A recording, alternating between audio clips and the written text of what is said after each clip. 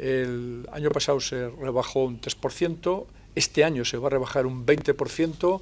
Hay un acuerdo también por unanimidad de todos los grupos políticos de las Cortes de Castilla y León para esa rebaja de tasas, pero evidentemente lo que los rectores siempre hemos pedido es que esa rebaja no podía ir a costa de los presupuestos de la universidad.